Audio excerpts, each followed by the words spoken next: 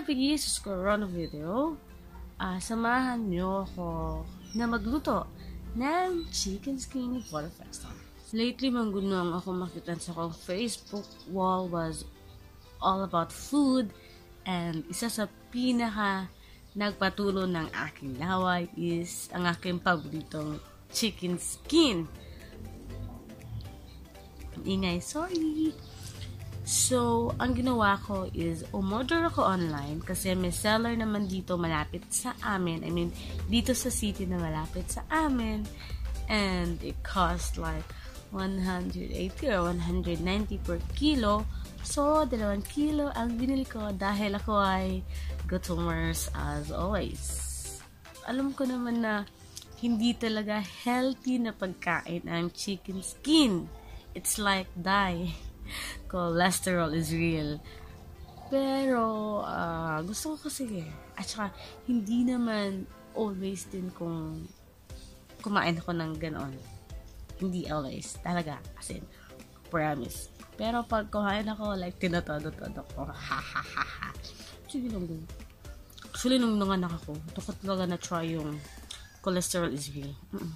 Kasi I've gained so much weight and I eat everything I want. Mm-hmm. Tabangin ko din yun sa pagluto. Kasi, I've actually haven't tried. Mm-hmm.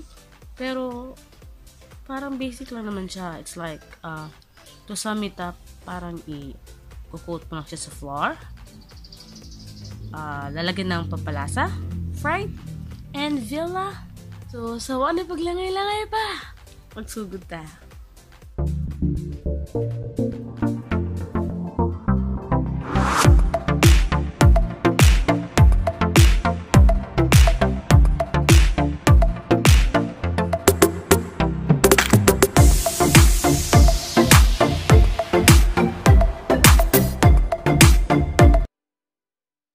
So, by ito yung sinasabi ko na dalawang kilo ng chicken skin, di ba? Para ang sakit sa batok, tingnan.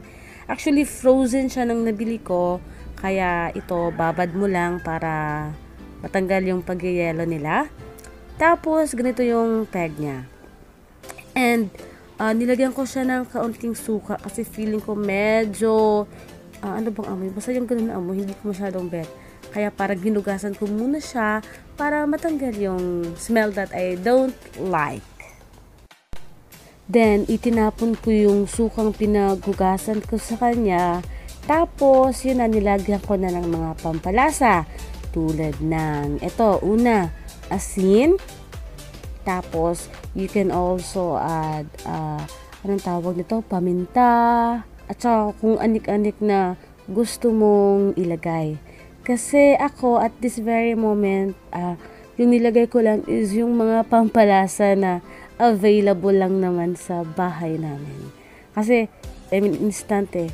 Uh, wala talaga akong chance o hindi ako nakapaghanda para dito.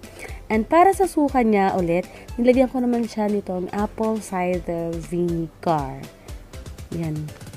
At huwag kalimutan ng cornstarch. You can also use flour din naman.